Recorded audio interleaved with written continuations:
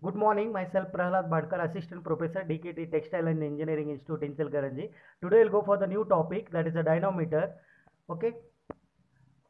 The dynamometer is a brake incorporating a device to measure the frictional resistance applied. This is used to determine the torque and hence the power of the machine can measure it and or engine also. Okay. In this case, important thing is two words that is a comes as a brake also. What is the purpose of the brake means it converts the kinetic energy of the machine into the frictional energy that is also brake otherwise it convert into frictional energy and it stop the system also.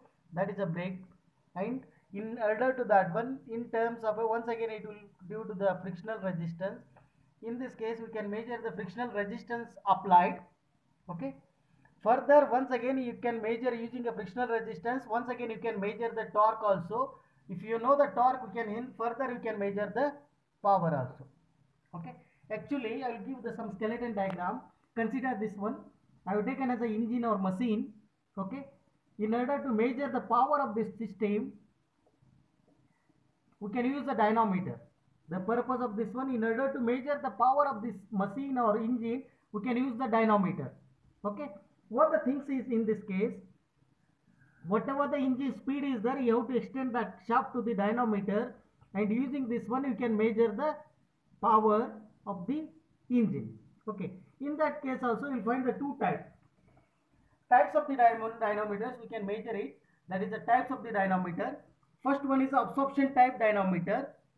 In further in this case also they will went for the two types. That is a prony brake also prony brake dynamometer. One more that is a rope brake dynamometer. And one more type is that that is a transmission dynamometer. I have not written here dynamometer but it is there that is a transmission dynamometer. In that case also they went for the two classification that is a belt transmission dynamometer one more that is a torsion dynamometer. Okay? Then what is the meaning of the absorption dynamometer? What is the meaning of the transmission dynamometer means i explained here properly. When it is a absorption that is a absorption means when it comes as absorption whatever the work done by the machine that is a machine or engine it is absorbed by the dynamometer.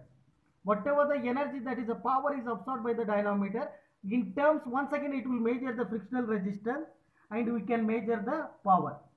But in that case whatever the energy that is the power is not utilized further. Okay? That is one more that is a transmission type. In transmission what happens? Whatever the work done by the machine this one. Whatever the work done by the machine it is not absorbed by the dynamometer. It is not absorbed in the process also it is not absorbed by the dynamometer. Whatever the power generated that is you can use further for the utilization. You can use for the some utilization. That is nothing but a transmission type dynamometer. This is a transmission type dynamometer. Then in this case i'll go for the one more explanation that is a rope brake dynamometer. Okay before that one i'll explain the diagram how it looks like this one. You look at this one this is the first i have taken as a wheel or pulley or drum also here. This is i have taken as a in the blue color. This is a indicates the wheel or drum or pulley. Okay around this one it is a wounded. Wounded with the rope. You have to wounded with the rope on this one. Continuously with the many wrapping also you have to wound with the rope. Then at the end at the one end you have to use the spring balance and one more end you have to use the weight at the end points of the ropes only. First you have to wound on the drum and end point beginning point you have to use the spring balance and at the end also you have to use the attach the some dead weights. Okay? This is and also you find the wooden block here. Can you find it here wooden block? The purpose of the wooden block i have drawn here also sectional view of the wooden block here also. Okay? In that case here you find the two things that is a color as a black these are the ropes actually. These also rope this is also ropes i have written as this one. And this is a nothing but a drum or wheel it comes as. I made as a hatches this is nothing but a drum or wheel. Okay? Then in this case the diameter of the rope is also important. The distance between the ropes also important. The purpose of the wooden block is in order to slip between the in order to avoid the slipping between the pulley and rope. This is an important thing. The purpose of the wooden block is in order to avoid the slipping between the pulley and ropes you have to use the wooden block. Then what the things? Some nomenclature they are given here also I have written as W is a dead weight. You have to take it as a Newton this one dead weight. I have written as a here also dead weight. S is a spring balance. That is also Newton. I have written here spring balance. That is a one end is rope it attached with the spring balance. Okay? Then D is a small d is a diameter of the rope. I have taken as a, this is a small rope that is the diameter of the rope. Then capital D is the wheel that is the diameter of the wheel or pulley. This is I have written here in that one. That is the diameter total diameter of the pulley or wheel. That is I have taken as a capital D. Then N is the speed of the engine. That is the speed of the engine means this is actually speed of the engine actually or this one speed of the engine that one. That is the speed of the engine. Then what the things it is a rotating some clockwise direction. I have marked as this one clockwise direction. Okay.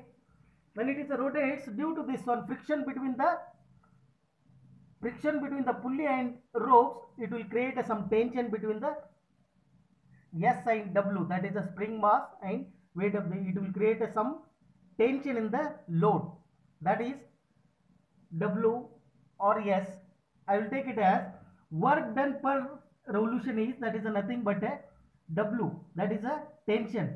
Difference between the loads that is a W minus S into.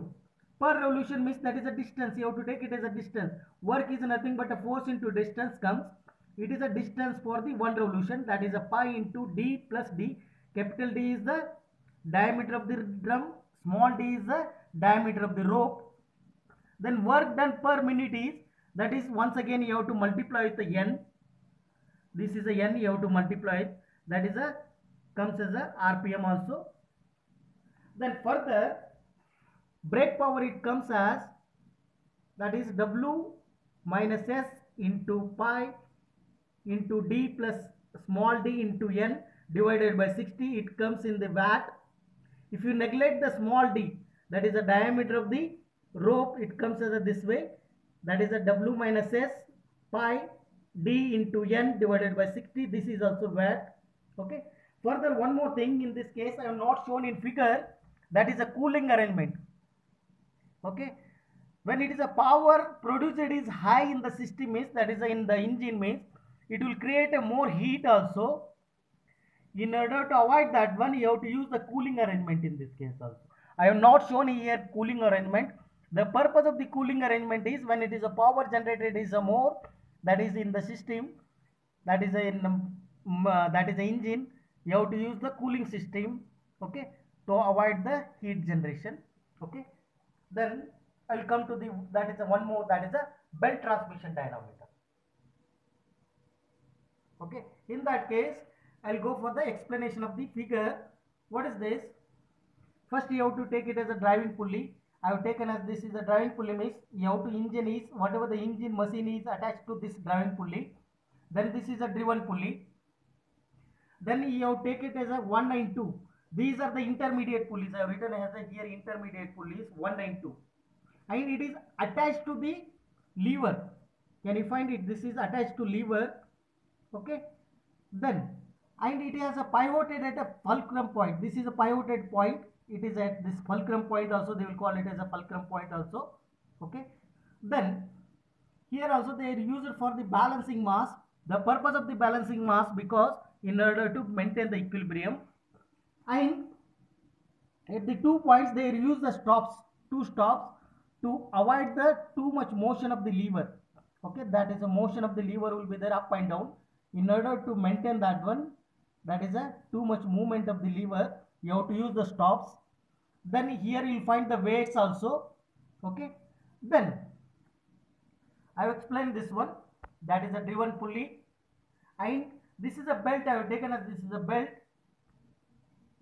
Can you find it? This is a belt i have taken as in black color. That is a runs totally on the driven pulley driving pulley at the same time intermediate pulley also.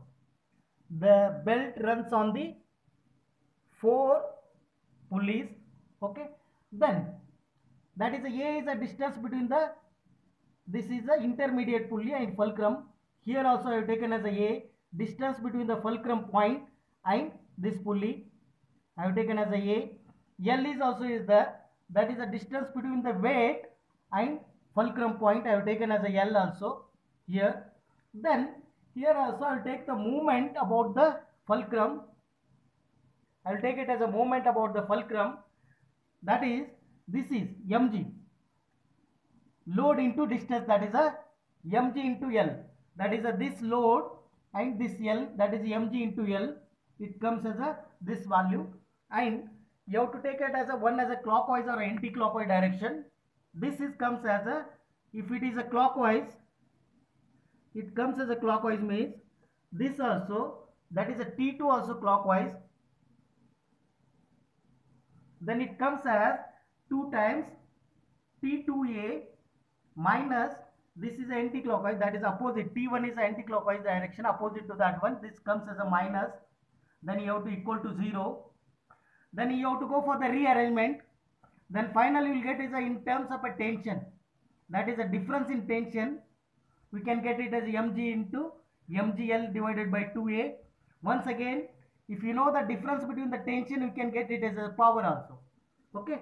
Actually this weight it balances the that is the tension between the tight side and slack side. The purpose of the weight is it maintains the it balances the that is a t1 tight side minus that is a slack side. It maintains the it is uh, a balance is the between the tension side slack side okay? That is the weight you have to add it in order to maintain the difference between the two tension that is a tight side also slack side also. You have to balance using these weights. Okay? Then one more thing in this case.